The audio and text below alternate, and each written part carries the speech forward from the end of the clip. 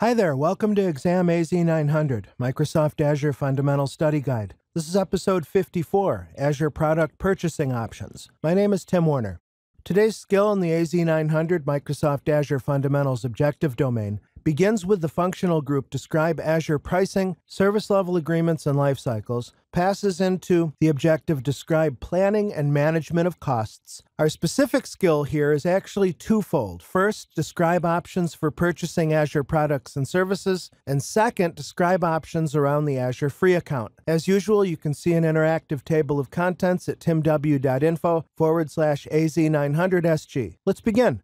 How to buy Azure. There's two main ways to buy Azure. One is to purchase your subscription directly from Microsoft, either through the Azure website or through your Microsoft representative. And you'd want to go that route in particular if you're interested in the EA or Enterprise Agreement. We talked about these different subscription offers in the previous lesson, by the way. Make sure to catch that if you haven't done so already. Second way to buy Azure is through a Microsoft Cloud Solution Partner or CSP. A CSP stands as a proxy basically between you and Microsoft. You're actually paying the CSP for your billing and not Microsoft directly. A CSP is specifically a Microsoft partner organization that has undertaken additional training and met different requirements to earn the cloud solution provider credential. CSPs can often provide additional value besides just being a payment method for your Azure resources. CSPs can actually help you with architecture, implementation, and troubleshooting as well.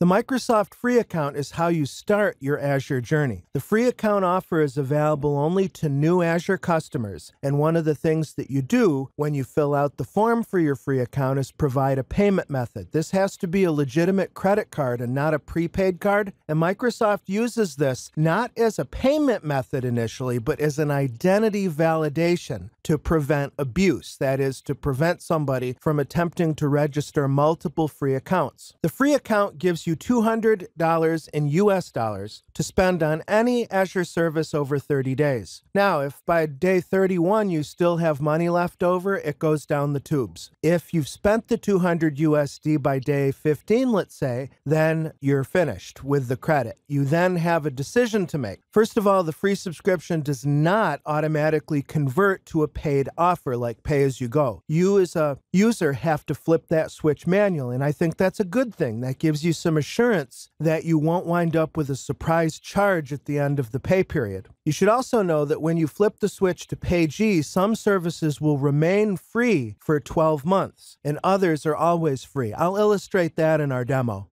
Let's take a look in this brief demo at the Azure free account. Things start here at the Azure homepage, azure.com, and you'll see a big old button here to start free. If your business is interested in Azure, you're going to need to create a free account to get started. This is the ultimate front door into any Azure subscription. And what happens when you start down this path, you're required to sign in with a Microsoft account identity. If you've already redeemed the free account, you'll see a message that looks like the screen here. It looks like you already have an account. It's only available to new users, one per customer. But we do have a link here to sign up for a PayG subscription or to use an existing subscription with our current account. Let's imagine for a moment that I was coming into this fresh as a new user. Let me go to a new in private window and let's go to azure.com. We'll come down to start free, hit start free again. And if we don't have a Microsoft account, we'll be prompted to create one. I'm going to sign in with one of my alternate Microsoft accounts, provide the password here. And I'm not going to complete this entire form, but instead let me just show you the basic workflow. You've got identity verification, both by phone and by credit card. And then you affirm the Azure license agreement. And at the end of this process, you'll be taken into your free subscription. And that subscription will trust a brand new Azure Active Directory tenant that normally has the label default directory. Let me now shift over into the Azure portal with my normal administrator account. You can search in the global navigation bar for free services, and you can come to this blade. This is a good place to see exactly which services are available for free for 12 months. As you can see, you can run 750 hours each of a Windows server and Linux virtual machine. Of course, those are small sizes. The idea with the Azure free account is that this is not meant to be a platform to give you production services services for free. Instead, it's a platform to give you an ability to test Azure and determine whether it's right for your production workloads. But like I said, this shows the 12 months free services, and then farther down in the list, we have always free services. And it's true that I do have some customers in my small consulting practice who use, for instance, Azure Functions here at the free tier in their production environment. As you can see, you get 1 million executions per month for free, which is really generous. On the other hand, again, when you're dealing with free services, it's normally at the lowest level of performance. So your functions are going to be running a lot slower than they would if you were using a normal paid method.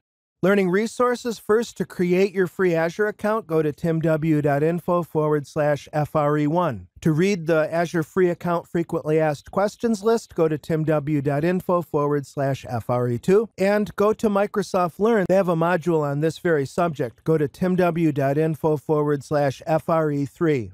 Slowly but surely, we're getting near to the end of this series. Our next episode is called Azure Cost Factors. In the meantime, please consider subscribing not only to this YouTube channel, but also my Twitter feed at Tech Trainer Tim. My long form Pluralsight courses are at timw.info forward slash PS. My website is techtrainertim.com. Thank you so much. I look forward to seeing you in the next lesson.